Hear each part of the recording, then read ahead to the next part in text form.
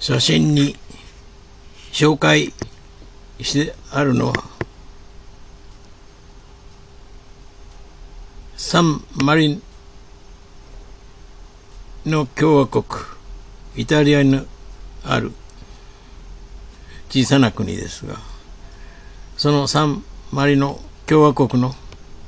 マリオ・カデロ大使の写真と市が昨年小学館から出版した。だから日本は世界から尊敬されるという本の表紙です。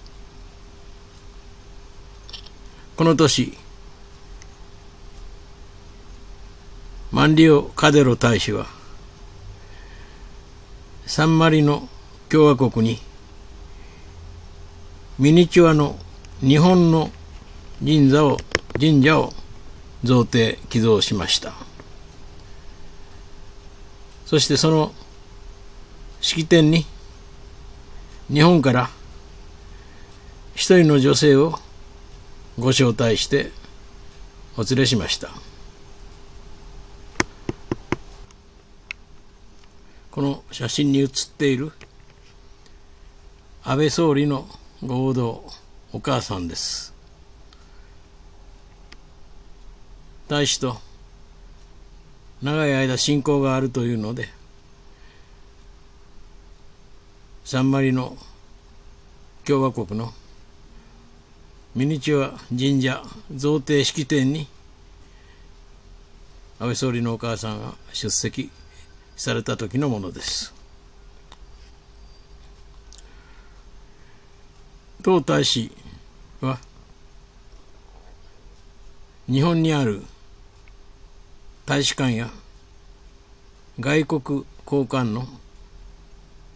代表をしております。そして日本に長くお住まいのため日本の空港についても一角のご意見を持っておられる方です。同大使からオリンピックパラリンピックを迎える前になんとか現在東京国際空港として使われている成田を成田に乗り入れてる便を羽田に変えることはできないかという意見が出ております。この声は各大使館の間で広まって大使館の中にはぜひオリンピックを機に新装改装なった羽田空港に成田に乗り入れている。いや成田だけでなく名古屋関空に乗り入れている。全国際線の便を羽田空港に移してもらおうという運動が起こっております。羽田空港は2010年新装なった新しいビルに加えさらにあと1棟計2棟の国際線専用ビルを持つ世界で冠たる空港になっております。また24時間開港されている CIQ の完備した空港は日本でただ一つでしかも真相なって改装された国内線のスロットは成田だけでなく名古屋関空に入っている国際線が全部移転してきても十分間に合うだけのスロットがあります。成田の場合は買って京成電鉄でしょうか。成田に行く鉄道が太平洋の隅にあたる千葉に押し寄せる勢いで電車が確か鉄橋の上で宙に浮き脱線するという事故があったように自然環境が羽田に比べて大変悪い上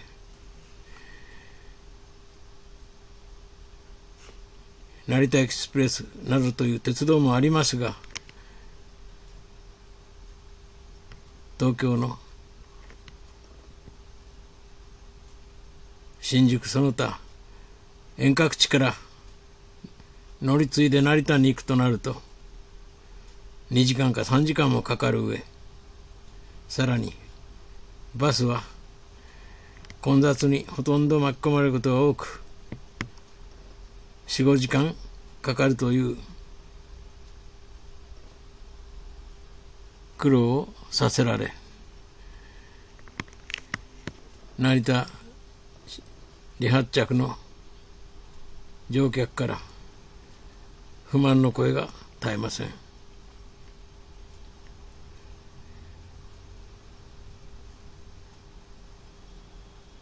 道路や鉄道網は羽田に集中し便利さはこの上なくなっております。オリンピックを機に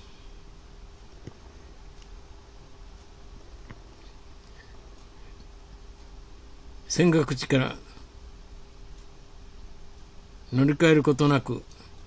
泉岳寺まで来ている浅草線が羽田に伸びることにもなっておりますし品川に来ておるリニアエクスプレスもモノレールで羽田につなぐ計画もあります。また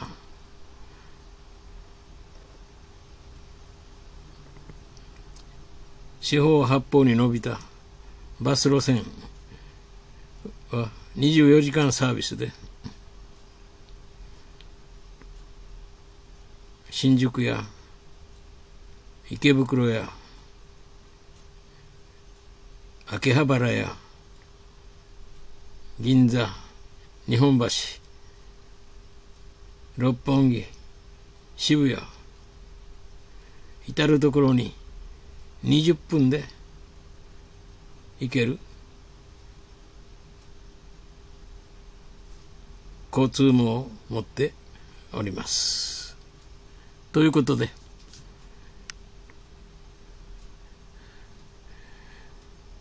マンリオ・カデロ。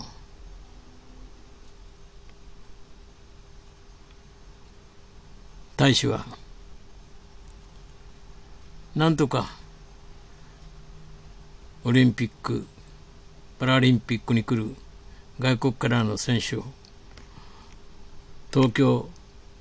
羽田空港で迎えるようにしてはどうかという強い要望を持っております。そしてまたその同じ要望を持つほとんどの在日大使とともに早晩安倍総理のお母さんを訪ねることになっておるようです。各位の大使館の要望に応える。真摯な姿勢を期待します。